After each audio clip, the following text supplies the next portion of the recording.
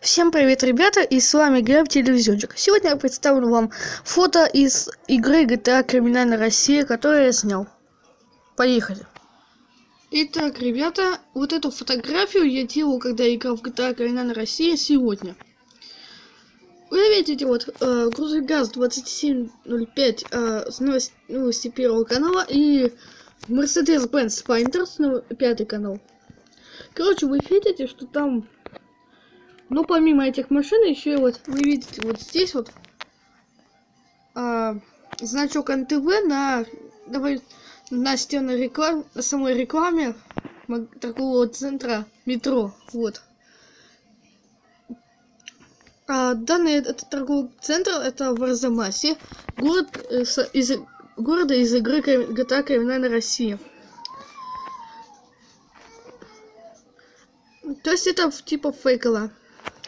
Насчет этих машин, я просто взял, просто скачал мод из сайта gamemodding.net. Ссылку я, как, как всегда, оставлю для вас в описании.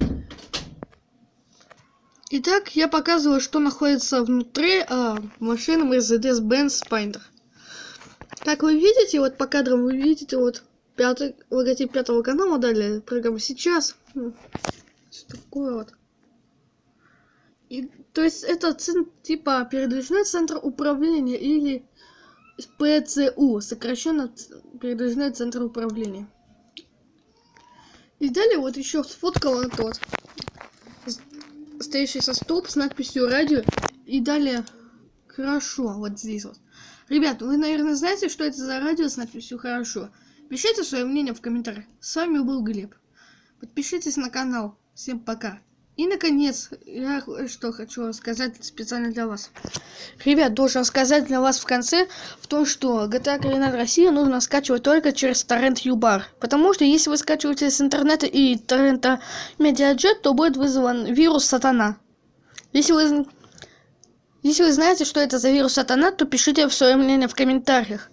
Так что желательно лучше скачивать GTA Криминал Россия э, с торрента Юбар или или скачивать GTA San Andreas Криминальная Россия. Ну, короче, всем пока.